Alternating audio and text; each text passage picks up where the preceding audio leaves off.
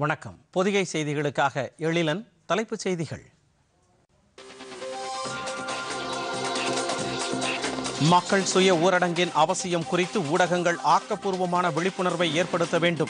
பிரதமர் நரேந்திர மோடி வலியுறுத்தல்.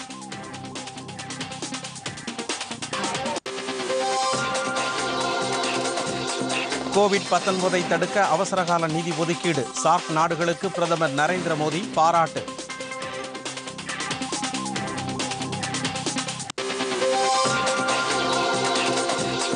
மாநில எல்லைகளை மூடுவதில் உறுதியான நடவடிக்கை எடுக்க வேண்டும். அனைத்து மாநில காவல்துறை தலைவர்களுக்கு உள்துறை அமைச்சகம் அறிவுறுத்தல்.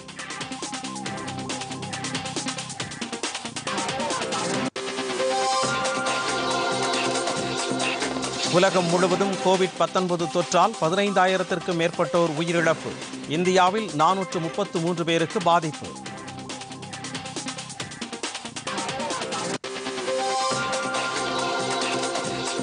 தமிழகத்தில் நாளை முதல் மார்ச் முப்பத்தி ஒன்றாம் தேதி வரை நூற்று நாற்பத்தி நான்கு தடை உத்தரவு. அனைத்து மாவட்ட எல்லைகளையும் மூட முதலமைச்சர் எடப்பாடி பழனிசாமி உத்தரவு.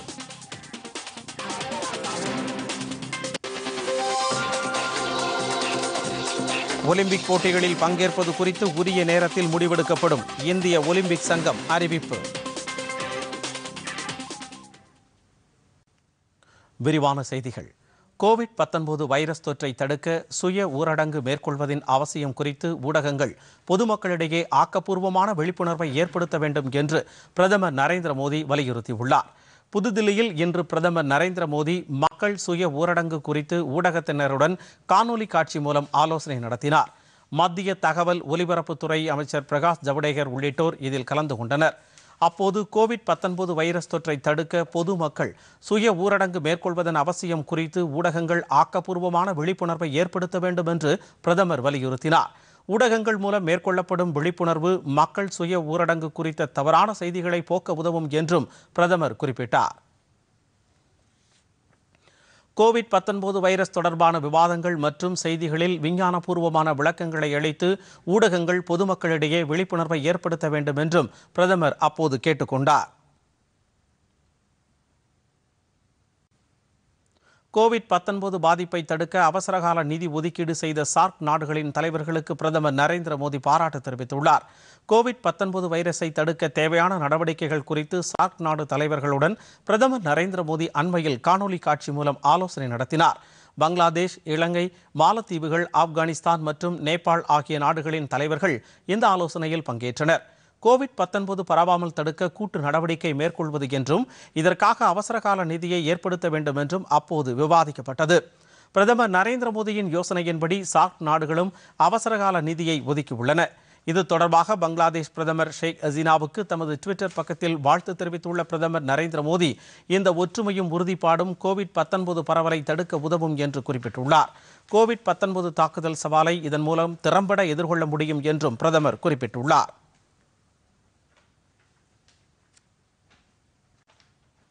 கோவிட் 19 பாதிப்பை தொடர்ந்து நாடாளுமன்ற கூட்டத்தொடர் இன்று முன்கூட்டியே முடித்துக் கொள்ளப்பட்டுள்ளது. மக்களவை இன்று பிற்பகல் இரண்டு மணிக்கு கூடியதும் இரண்டாயிரத்து இருபதாம் ஆண்டுக்கான நிதி மசோதா நிறைவேற்றப்பட்டது.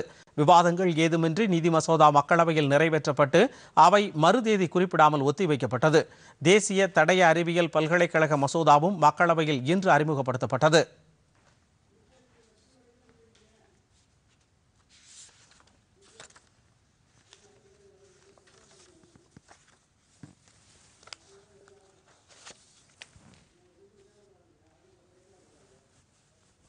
இன்று மாநிலங்களவை கூடியதும் சத்தீஸ்கர் மாநிலத்தில் நக்சலைட்டுகளின் தாக்குதலால் பாதுகாப்பு படையினர் கொல்லப்பட்ட சம்பவத்திற்கு அஞ்சலி செலுத்தப்பட்டது.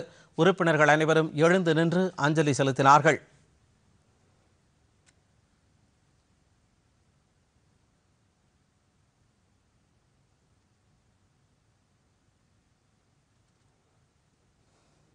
ஜம்மு காஷ்மீர் யூனியன் பிரதேச அரசின் ஒரு லட்சம் கோடி ரூபாய் பட்ஜெட்டிற்கும் மாநிலங்களவையில் இன்று ஒப்புதல் அளிக்கப்பட்டது.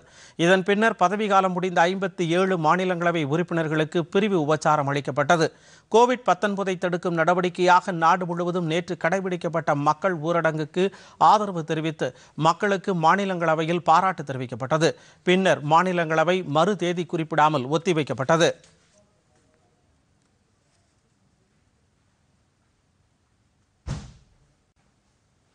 மாநில எல்லைகளை மூடுவதில் உறுதியான நடவடிக்கை எடுக்க வேண்டும் என்று அனைத்து மாநில காவல்துறை தலைவர்களுக்கு உள்துறை அமைச்சகம் அறிவுறுத்தியுள்ளது.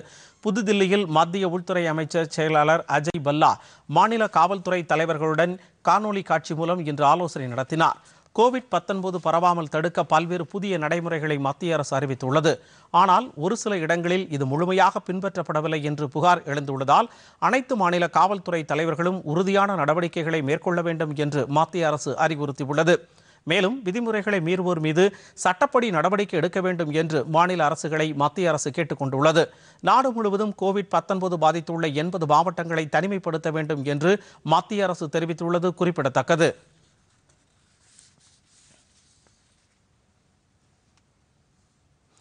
இதனிடையே பயன்பாட்டில் இல்லாத மாணவர் விடுதிகளை மருத்துவ முகாம்களாக பயன்படுத்துவது குறித்து உரிய நடவடிக்கை எடுக்குமாறு நவோதயா பள்ளி ஆணையரை மத்திய மனிதவள மேம்பாட்டுத்துறை அமைச்சகம் கேட்டுக்கொண்டுள்ளது.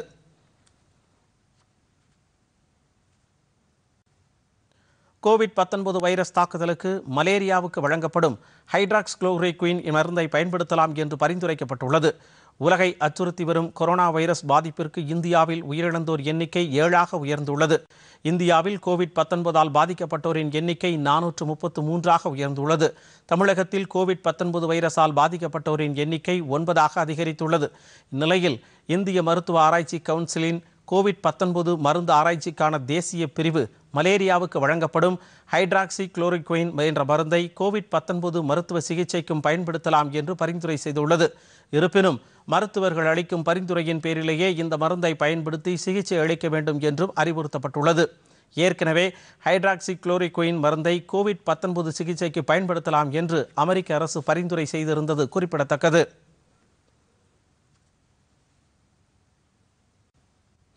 இந்தியாவில் கோவிட் 19 தொற்றால் பாதிக்கப்பட்டுள்ளவர்களின் எண்ணிக்கை நானூற்று முப்பத்து மூன்றாக அதிகரித்துள்ளது. இதில் நாற்பத்தி பேர் வெளிநாட்டைச் சேர்ந்தவர்கள். ஏற்கனவே வைரஸ் தொற்று அறிகுறிகளுடன் மருத்துவமனையில் அனுமதிக்கப்பட்டவர்களில் இருபத்து நான்கு பேர் குணமடைந்து வீடு திரும்பியுள்ளனர். ஏழு பேர் சிகிச்சை பலனின்றி உயிரிழந்தனர்.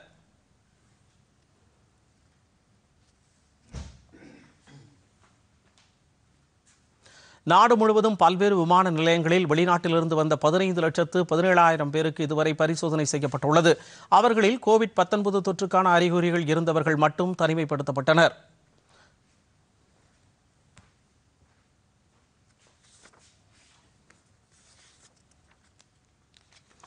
கோவிட் 19 வைரஸ் பிரச்சனையால் உள்நாட்டு விமான சேவைகளும் நாளை முதல் ரத்து செய்யப்படும் என்று அறிவிக்கப்பட்டுள்ளது.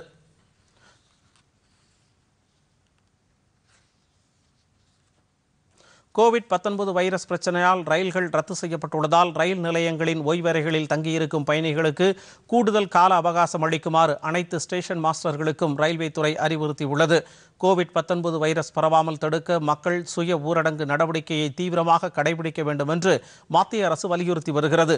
இதனைத் தொடர்ந்து பல்வேறு மாநிலங்களில் வசிக்கும் மக்கள் தங்கள் சொந்த ஊருக்கு திரும்பும் முயற்சியில் ஈடுபட்டுள்ளனர். இருப்பினும் ரயில்கள் இம்மாதம் முப்பத்தி ஒன்றாம் தேதி வரை ரத்து செய்யப்பட்டுள்ளதால் அவர்கள் ரயில் நிலையங்களில் உள்ள பயணிகள் ஓய்வறையில் தங்கியுள்ளனர். வழக்கமாக இத்தகைய ஓய்வறைகளில் குறைந்தபட்சம் மூன்று மணி நேரத்திலிருந்து அதிகபட்சமாக நாற்பத்தி எட்டு மணி நேரம் வரை தங்கியிருக்க அனுமதி வழங்கப்படும். தற்போது ரயில்கள் ரத்து செய்யப்பட்டுள்ளதால் பயணிகள் தங்கியிருக்க கூடுதல் கால அவகாசம் அளிக்குமாறு ரயில்வே துறை அனைத்து ரயில் நிலைய ஸ்டேஷன் மாஸ்டர்களுக்கு அறிவுறுத்தியுள்ளது.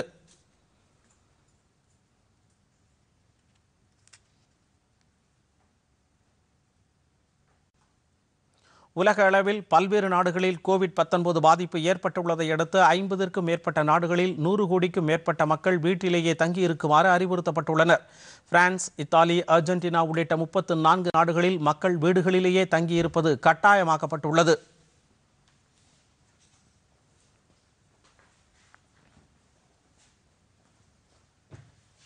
இதற்கிடையே கோவிட் 19 பாதிப்பால் இதுவரை பதினைந்தாயிரத்து நூற்று எண்பத்து ஒன்பது பேர் உயிரிழந்து விட்டதாக தகவல்கள் தெரிவிக்கின்றன.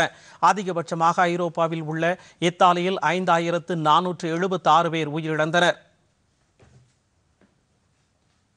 சீனாவில் மூன்றாயிரத்து இருநூற்று எழுபது பேரும் ஸ்பெயினில் இரண்டாயிரத்து நூற்று எண்பத்தி இரண்டு பேரும் உயிரிழந்தனர்.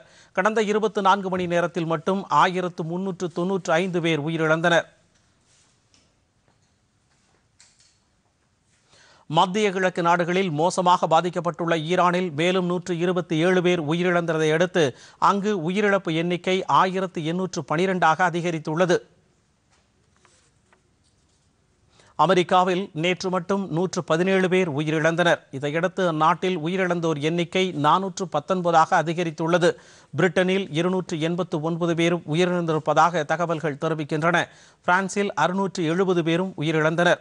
மேலும் இந்த நோய் பரவாமல் தடுக்க உலகம் முழுவதும் பல்வேறு தடுப்பு நடவடிக்கைகள் மேற்கொள்ளப்பட்டு வருகின்றன. பாகிஸ்தானில் எழுநூறு பேர் பாதிக்கப்பட்டுள்ள நிலையில் ஐந்து பேர் கோவிட் பத்தொன்பது தொற்றால் உயிரிழந்துள்ளனர். மேலும் இருபத்தாறு வயது வயதுமுதைய பாகிஸ்தான் மருத்துவர் ஒருவரும் உயிரிழந்துள்ளார். உஸ்மாரியாஸ் என்ற அந்த மருத்துவர் ஈரான் ஈராக்கில் கோவிட் பத்தொன்பது வைரஸால் பாதிக்கப்பட்டவர்களுக்கு சிகிச்சை அளித்த மருத்துவக் குழுவில் இடம்பெற்றிருந்தார்.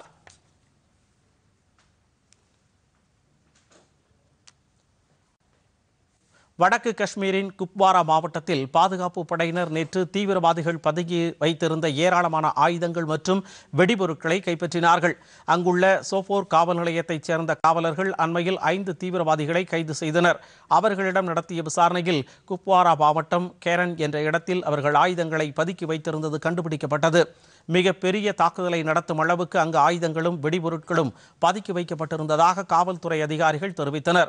இது தொடர்பாக மேலும் சிலரை தேடி வருவதாகவும் காவல்துறையினர் தெரிவித்துள்ளனர்.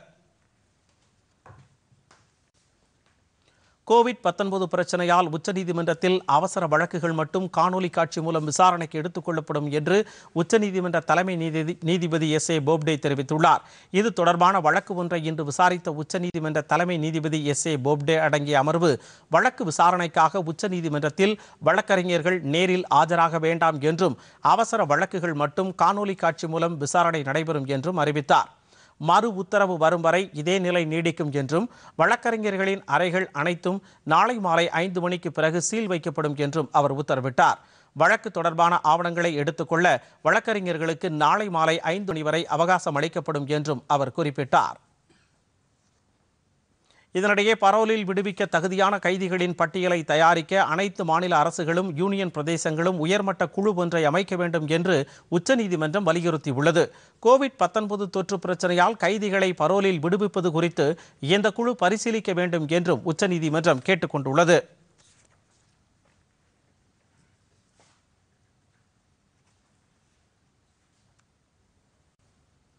வெளிநாடுகளிலிருந்து நாடு திரும்பியபின் சுய தனிமைப்படுத்துதலை தவிர்க்கும் நபர்களின் பாஸ்போர்ட்கள் பறிமுதல் செய்யப்படும் என்று மக்கள் நல்வாழ்வுத்துறை அமைச்சர் சி. விஜயபாஸ்கர் எச்சரித்துள்ளார். தமிழகத்தில் கோவிட் பத்தொன்பது வைரஸால் பாதிக்கப்பட்டவர்களின் எண்ணிக்கை ஒன்பதாக உயர்ந்துள்ளது. கோவிட் பத்தொன்பது வைரஸ் பாதிப்பு பெரும்பாலும் வெளிநாடுகளிலிருந்து நாடு திரும்பும் நபர்களாலேயே ஏற்படுகிறது என்பதால் வெளிநாடுகளிலிருந்து வரும் பயணிகள் தீவிர மருத்துவ கண்காணிப்புக்கு உட்படுத்தப்பட்டு வருகின்றனர். இந்நிலையில் சென்னையில் செய்தியாளர்களிடம் பேசிய அமைச்சர் வெளிநாடுகளிலிருந்து நாடு திரும்புபவர்கள் சுய தனிமைப்படுத்துதலுக்கு உட்பட்டு சிகிச்சை பெற வேண்டும் என்றும் இதனை தவிர்த்து வெளியே செல்லும் நபர்கள் மீது சட்டப்படி நடவடிக்கை எடுக்கப்படும் என்றும் தெரிவித்தார். அரசின் அறிவுரைகளை மீறுபவர்களின் பாஸ்போர்ட்கள் பறிமுதல் செய்யப்படும் என்றும் அவர் அப்போது குறிப்பிட்டார்.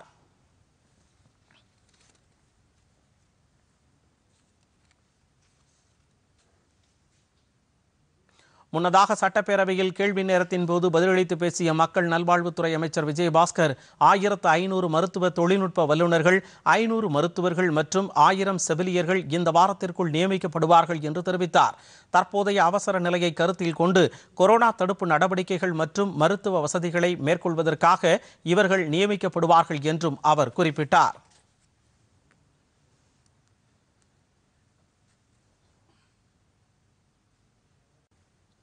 தமிழகம் முழுவதும் நாளை மாலை ஆறு மணி முதல் இம்மாதம் முப்பத்து ஒன்றாம் தேதி வரை நூற்று நாற்பத்து நான்கு தடை உத்தரவு பிறப்பிக்கப்படுவதாக முதலமைச்சர் எடப்பாடி பழனிசாமி அறிவித்துள்ளார். தமிழகத்தில் கோவிட் பத்தொன்பது தொற்றால் ஒன்பது பேர் பாதிக்கப்பட்டுள்ளனர். கோவிட் பத்தொன்பது பரவாமல் இருக்க தமிழக அரசு பல்வேறு முன்னெச்சரிக்கை நடவடிக்கைகளை மேற்கொண்டு வருகிறது. இந்நிலையில் தமிழகத்தில் நாளை மாலை ஆறு மணி முதல் இம்மாதம் முப்பத்து ஒன்றாம் தேதி வரை நூற்று நாற்பத்தி நான்கு தடை உத்தரவு பிறப்பிக்கப்படுவதாகவும் இந்த காலத்தில் அனைத்து மாவட்ட எல்லைகளும் மூடப்படும் என்றும் முதலமைச்சர் அறிவித்துள்ளார். அத்தியாவசிய பொருட்களை விற்பனை செய்யும் கடைகள் தவிர மற்ற கடைகள் அனைத்தும் மூடப்படும் என்றும் அம்மா உணவகங்கள் வழக்கம் போல் செயல்படும் என்றும் முதலமைச்சர் தெரிவித்துள்ளார். இந்த தடை காலத்தின் போது பொது போக்குவரத்து தனியார் போக்குவரத்து ஆட்டோ டாக்ஸி ஆகியவை இயங்காது என்றும் முதலமைச்சர் அறிவித்துள்ளார். முன்னதாக தமிழகத்தில் கொரோனா வைரஸ் தடுப்பு நடவடிக்கைக்காக ஏற்கனவே ஒதுக்கப்பட்ட அறுபது கோடி ரூபாய் நிதியுடன் கூடுதலாக ஐநூறு கோடி ரூபாய் ஒதுக்கப்பட்டிருப்பதாக முதலமைச்சர் எடப்பாடி பழனிசாமி இன்று சட்டப்பேரவையில் அறிவித்தார். கொரோனா வைரஸ் பாதிப்பால் ஒரு உயிர் பலி கூட ஏற்படாத அளவிற்கு மாநில அரசு உரிய தடுப்பு நடவடிக்கைகளை மேற்கொண்டு வருவதாக அவர் கூறியுள்ளார். கொரோனா அச்சம் குறித்து தவறான பிரச்சாரம் செய்பவர்கள் மீது கடுமையான நடவடிக்கை எடுக்கப்படும் என்றும் அவர் தெரிவித்தார்.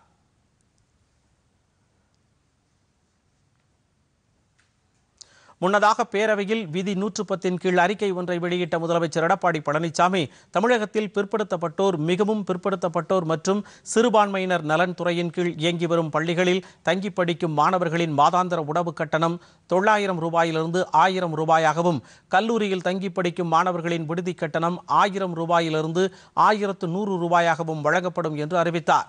இதேபோன்று இத்துறையின் கீழ் செயல்படும் ஆயிரத்து முன்னூற்று ஒரு விடுதிகளுக்கு டிடிஹெச் இணைப்புடன் கூடிய தொலைக்காட்சி பெட்டி வழங்குவதற்காக ஐந்து கோடியே முப்பத்து ஒன்பதாயிரம் ரூபாய் வழங்கப்படும் என்றும் முதலமைச்சர் அறிவித்தார். மேலும் குற்ற வழக்கு தொடர்புடைய துறை மற்றும் சட்டக்கல்வி இயக்குநரகங்களுக்கு அனைத்து வசதிகளுடன் கூடிய ஒருங்கிணைந்த கட்டடம் கட்ட முப்பத்து எட்டு கோடி ரூபாய் ஒதுக்கீடு செய்யப்படும் என்றும் முதலமைச்சர் அப்போது குறிப்பிட்டார்.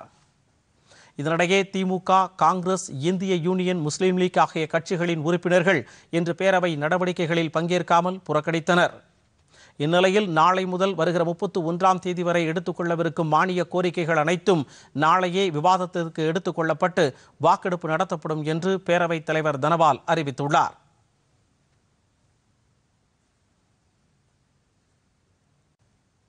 அடுத்து வருவது விரைவுச் செய்திகள். ஈரோடு மாவட்டம் பெருந்துறை மருத்துவக் கல்லூரி மருத்துவமனை கோவிட் 19 சிகிச்சைக்கான மருத்துவமனையாக மாற்றம் செய்யப்பட்டுள்ளது என்று மாவட்ட ஆட்சியர் கதிரவன் தெரிவித்துள்ளார். இதுகுறித்து செய்தியாளர்களிடம் பேசிய அவர் தாய்லாந்து நாட்டைச் சேர்ந்த இரண்டு பேருக்கு நோய் தொற்று ஏற்பட்டுள்ளதாகவும் அவர்களுடன் தொடர்பில் இருந்த பதிமூன்று பேர் தீவிர கண்காணிப்பில் உள்ளதாகவும் கூறினார். அவர்கள் தங்கியிருந்த பகுதியில் உள்ள நூற்று அறுபத்து ஒன்பது குடும்பங்களைச் சேர்ந்த அறுநூற்று தொன்னூற்று நான்கு பேர் தனிமைப்படுத்தப்பட்டு கண்காணிக்கப்பட்டு வருவதாகவும் தெரிவித்தார். வெளிநாடுகளில் மற்றும் வெளிமாநிலங்களில் இருந்து கோவை மாவட்டத்திற்கு வந்தவர்கள் அருகில் உள்ள மருத்துவமனைகளுக்கு சென்று மருத்துவ பரிசோதனைக்கு உட்படுத்திக் கொள்ளுமாறு மாவட்ட ஆட்சியர் ராசாமணி கேட்டுக்கொண்டார் கோவை அரசு மருத்துவமனையில் நோய் தடுப்பு நடவடிக்கைகள் குறித்து அவர் இன்று ஆய்வு செய்தார். பின்னர் செய்தியாளர்களிடம் பேசிய அவர் ரயில்கள் இயக்கப்படாததால் பிற மாநிலத்தவர்கள் தங்க வைப்பதற்கும் உணவு வழங்குவதற்கும் ஏற்பாடு செய்யப்பட்டிருப்பதாகவும் கூறினார். நெல்லையில் கோவிட் 19 நோயால் பாதிக்கப்பட்ட நபர் நலமுடன் இருப்பதாகவும் தொடர்ந்து கண்காணிக்கப்பட்டு சிகிச்சை அளிக்கப்பட்டு வருவதாகவும் மாவட்ட ஆட்சியர் ஷில்பா பிரபாகர் சதீஷ் தெரிவித்துள்ளார்.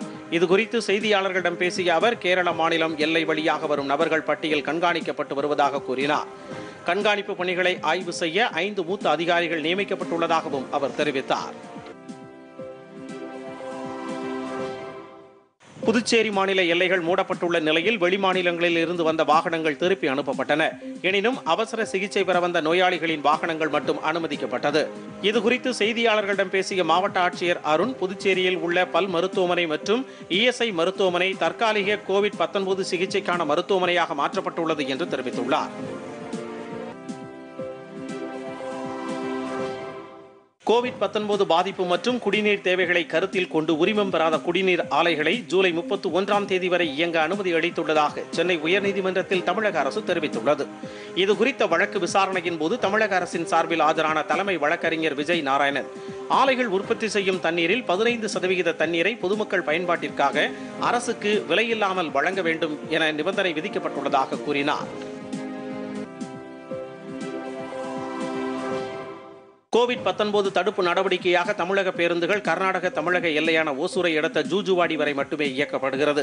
இந்நிலையில் பெங்களூரில் இருந்து தமிழகத்தின் ஓசூருக்கு அரசின் தடையை மீறி இயக்கப்பட்ட மூன்று தனியார் பேருந்துகளை கண்காணிப்பு குழுவினர் பறிமுதல் செய்தனர். பேருந்தில் பயணம் செய்த பயணிகளை எச்சரித்த குழுவினர் மருத்துவ பரிசோதனைக்கு பின் அனுமதித்தனர். கோவிட் 19 பரவுவதை தடுக்கும் வகையில் ராமேஸ்வரம் பாம்பன் மண்டபம் பகுதி விசைப்படகு மீனவர்களுக்கு மீன்பிடி அனுமதிச் சீட்டு மீன்வளத்துறையால் வழங்கப்படவில்லை. இதன் காரணமாக ராமநாதபுரம் மாவட்டத்தில் உள்ள ஆயிரத்து ஐநூறுக்கும் மேற்பட்ட விசைப்படகுகளும் நான்காயிரத்திற்கு மேற்பட்ட நாட்டு படகுகளும் கடலுக்கு செல்லவில்லை. துறைமுக பகுதி வெறிச்சோடி காணப்படுகிறது.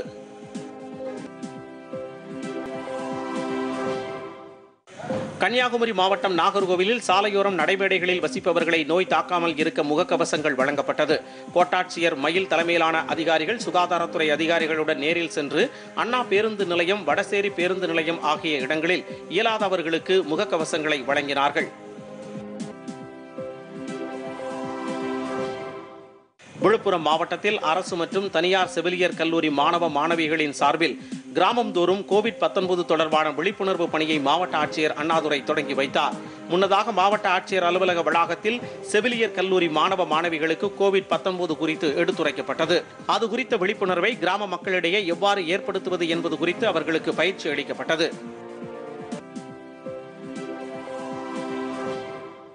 சென்னையில் நேற்று காலமான பிரபல நடிகரும் இயக்குனருமான விசுவின் உடல் இன்று பிற்பகல் பெசன் நகர் மயானத்தில் தகனம் செய்யப்பட்டது. முன்னதாக இன்று காலை அவரது உடலுக்கு தமிழக பிஜேபி தலைவர் எல் முருகன் முன்னாள் மத்திய அமைச்சர் பொன் ராதாகிருஷ்ணன் நடிகரும் இயக்குனருமான பாக்கியராஜ் ராதாரவி உள்ளிட்டோர் அஞ்சலி செலுத்தினார்கள்.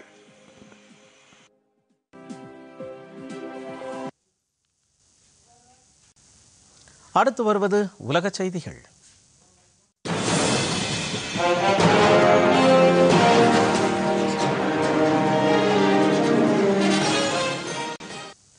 கோவிட் 19 தொடர்பான தகவல்களை மிக தாமதமாக சீனா பகிர்ந்து கொண்டதும் அமெரிக்க மருத்துவ நிபுணர்களை அனுமதிக்க சீனா மறுத்துவிட்டதும் ஏமாற்றம் அளிப்பதாக அமெரிக்க அதிபர் டொனால்ட் ட்ரம்ப் தெரிவித்துள்ளார். இதுகுறித்து வெள்ளை மாளிகையில் செய்தியாளர்களிடம் பேசிய அவர் அமெரிக்க மருத்துவர்களை சீனாவில் பாதிக்கப்பட்டவர்களுக்கு சிகிச்சை அளிக்க அமெரிக்க மருத்துவர்களை அனுப்புவது குறித்து சீன அதிபர் ஷி ஜின்பிங்கிடம் தாம் பேசியதாகவும் ஆனால் அவர் அதனை ஏற்க மறுத்துவிட்டதாகவும் கூறினார். மூன்று மாதங்களுக்கு முன்பே சீனா இது குறித்து தங்களிடம் தெரிவித்திருந்தால் உலகில் பெரும்பாலானவர்களை காப்பாற்றியிருக்க முடியும் என்றும் தெரிவித்துள்ளார். இதற்கிடையே இவ்விவகாரம் தொடர்பாக அமெரிக்கா மற்றும் சீன அதிகாரிகள் ட்விட்டரில் கருத்து மோதல்களில் ஈடுபட்டுள்ளனர். அமெரிக்காவில் கோவிட் 19 பாதிக்கப்பட்டு முன்னூற்று தொண்ணூறு பேர் உயிரிழந்தனர். முப்பத்தொன்றாயிரத்திற்கும் மேற்பட்டோர் பாதிக்கப்பட்டுள்ளனர். அமெரிக்காவில் கோவிட் 19 பரவல் அதிகம் உள்ள பகுதிகளில் அவசரகால மருத்துவ நிலையங்களை அமைக்க அதிபர் டொனால்ட் ட்ரம்ப் உத்தரவிட்டுள்ளார். அமெரிக்காவில் கோவிட் 19 பாதிக்கப்பட்டவர்களின் எண்ணிக்கை முப்பத்து மூன்றாயிரத்து ஐநூற்று நாற்பத்தாறாக உயர்ந்துள்ளது. இந்நிலையில் செய்தியாளர்களிடம் பேசிய அதிபர் ட்ரம்ப் கலிபோர்னியா நியூயார்க் வாஷிங்டன் மாகாணங்களில் மருத்துவ நிலையங்களை அமைக்க உத்தரவிடப்பட்டுள்ளதாக தெரிவித்தார். மொத்தம் அமைக்கப்படும் பதினாறு நிலையங்களில் நான்காயிரம் படுக்கைகள் இருக்கும் என்று அவர் கூறினார். இந்த கொடுமையான கண்ணுக்கு தெரியாத எதிரியை அழிப்பதற்காக ஒவ்வொரு நாளும் அனைத்து நடவடிக்கைகளையும் எடுத்து வருவதாக ட்ரம்ப் தெரிவித்தார்.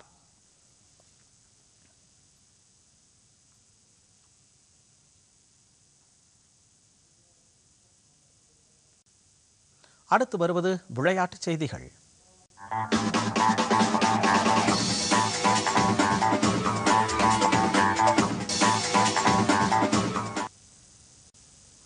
டோக்கியோ ஒலிம்பிக் போட்டிகளில் இந்தியா பங்கேற்பது குறித்து ஒரு மாதத்திற்கு பிறகு முடிவு செய்யப்படும் என்று இந்திய ஒலிம்பிக் சங்கம் அறிவித்துள்ளது.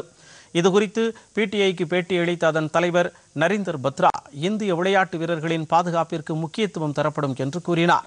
கோவிட் 19 பாதிப்பு சர்வதேச அளவில் நிலவி வரும் நிலையில் ஜூலை மாதம் தொடங்கவுள்ள போட்டிகளை ஒத்திவைக்க வேண்டும் என்று பல்வேறு நாடுகள் வலியுறுத்தி வருகின்றன. இந்நிலையில் ஒலிம்பிக் போட்டியில் பங்கேற்கப் போவதில்லை என்று முதல் நாடாக கனடா அறிவித்துள்ளது. அமெரிக்கா இங்கிலாந்து நாடுகளின் ஒலிம்பிக் சங்கங்களும் போட்டியை ஒத்திவைக்க கோரிக்கை விடுத்துள்ளன.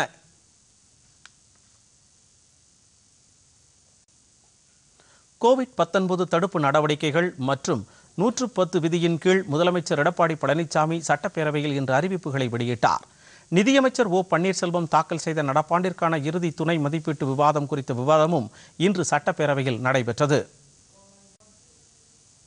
சட்டப்பேரவையில் முதலமைச்சர் எடப்பாடி பழனிசாமி அறிவித்த கொரோனா வைரஸ் தடுப்பு நடவடிக்கைகள் குறித்த இரண்டு அறிக்கைகள் மற்றும் நூற்று பத்து விதியின் கீழ் அறிவித்த அறிவிப்புகள் நிதியமைச்சர் ஓ பன்னீர்செல்வம் தாக்கல் செய்த இரண்டாயிரத்து பத்தொன்பது இருபதாம் ஆண்டுக்கான இறுதி துணை மதிப்பீடுகள் மற்றும் கைத்தறி செய்தித்துறை ஆகிய இரண்டு மானிய கோரிக்கைகள் மீதான விவாதமும்.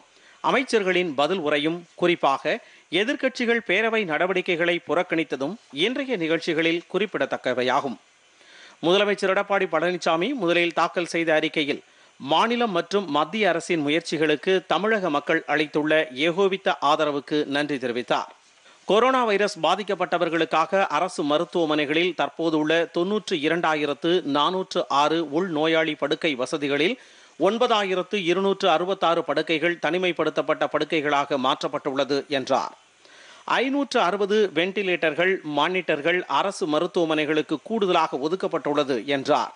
சிகிச்சைக்கு தேவையான அனைத்து மருந்துகளும் போதிய அளவு கொள்முதல் செய்யப்பட்டு இருப்பில் உள்ளதாகவும் அவர் கூறினார்.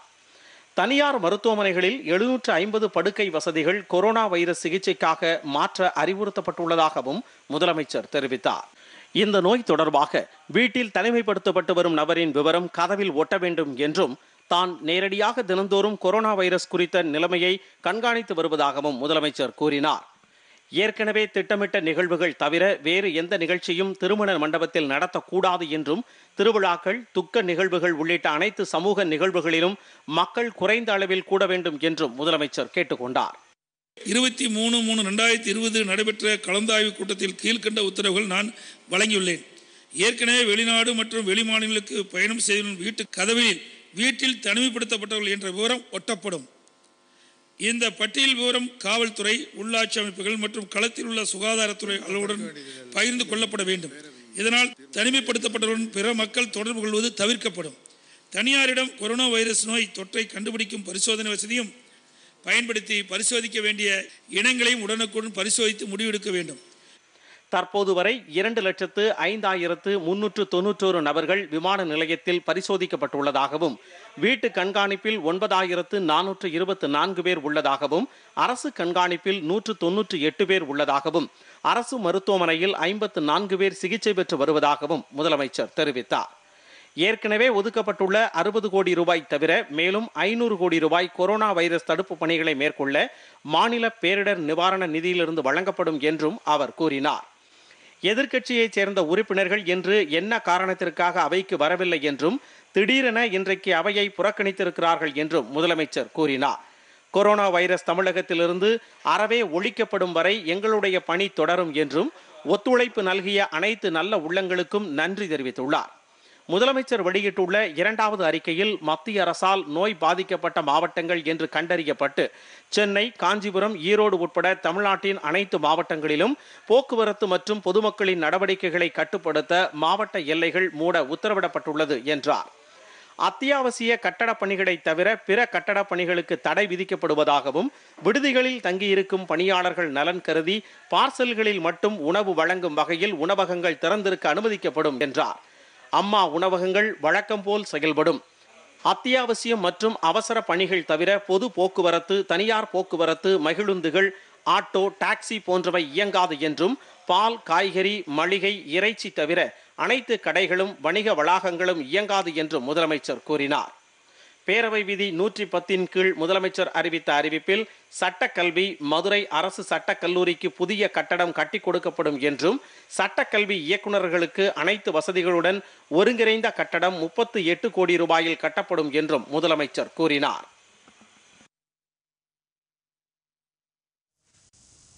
மீண்டும் தலைப்புச் செய்திகள். மக்கள் சுய ஊரடங்கின் அவசியம் குறித்து ஊடகங்கள் ஆக்கப்பூர்வமான விழிப்புணர்வை ஏற்படுத்த வேண்டும். பிரதமர் நரேந்திர மோடி வலியுறுத்தல்.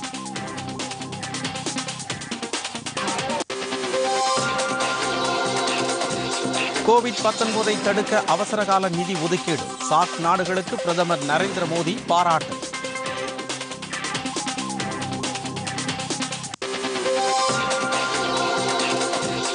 மாநில எல்லைகளை மூடுவதில் உறுதியான நடவடிக்கை எடுக்க வேண்டும். அனைத்து மாநில காவல்துறை தலைவர்களுக்கு உள்துறை அமைச்சகம் அறிவுறுத்தல்.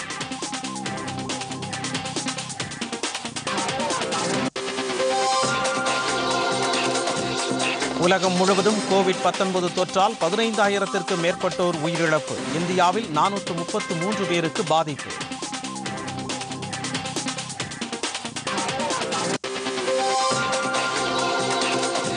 தமிழகத்தில் நாளை முதல் மார்ச் முப்பத்து ஒன்றாம் தேதி வரை நூற்று நாற்பத்தி நான்கு தடை உத்தரவு. அனைத்து மாவட்ட எல்லைகளையும் மூட முதலமைச்சர் எடப்பாடி பழனிசாமி உத்தரவு.